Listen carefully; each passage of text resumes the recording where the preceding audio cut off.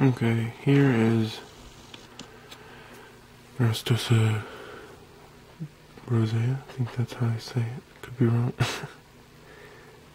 anyway, trying to give her another one here, but she ate one yesterday, but she seemed to be less than interested in it. I don't know. But she did end up eating it.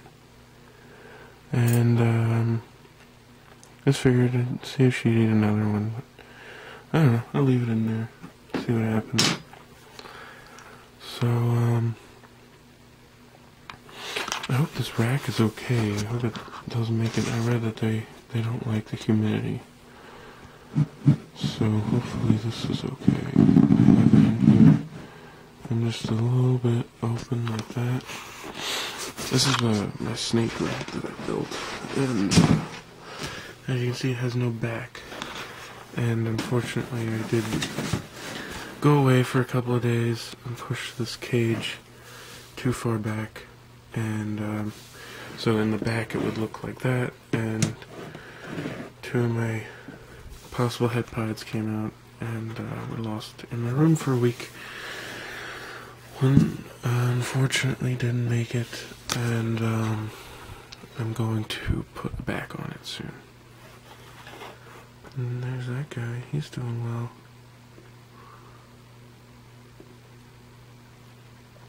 He's the strongest out of all the snakes I hatched. He always eats no matter what. Right here is. Uh, I forget the scientific name. Oh, look, I think he's out there. Alright, I gotta get it. Something better than that cardboard. That's not very good. I'm gonna see if he'll eat another super worm.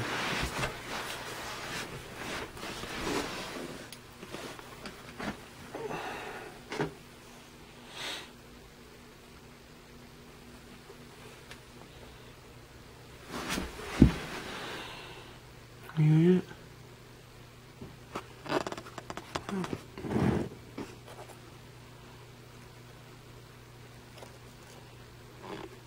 Oops.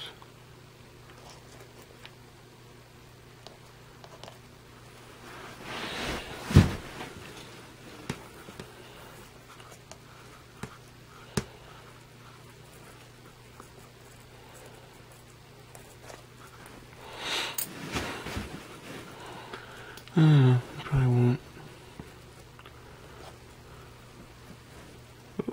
Uh,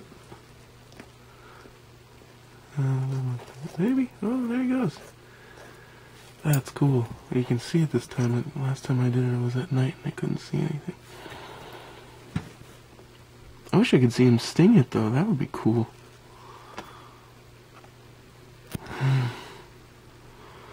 He's got the wrong end.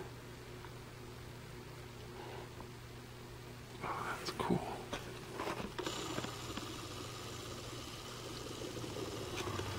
I need more light. I have no light in here. It's unfortunate. But uh, I guess it's good. It's bad for videos, good for these guys. And they're all nocturnal except for the iguana. Yeah, that's the only light in here, really. Are they biting them. Biting back? Uh, it kind of sucks. Being eaten alive like that. Oh no, no, go in the light. Go in the dark, I mean. Come on. I want to see you. Turn around, let's see.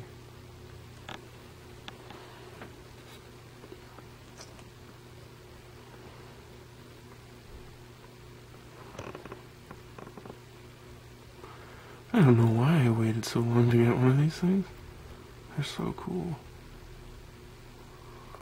I've had the mealworms and superworms forever and cockroaches. I had nothing to eat.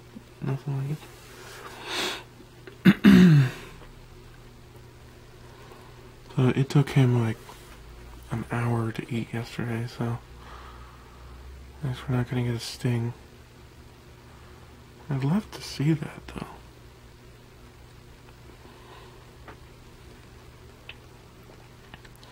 Hey, I did read that when they become adults, their stinger turns red.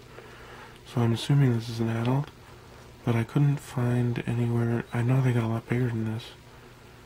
Um, but if anyone knows anything, anyone can tell me, uh, like how old this guy would be, I'd be very interested in knowing, and uh, whether or not, uh, you know, if you can tell if it's female or male, or if it's uh, sexually mature or not, because I do plan to breed it.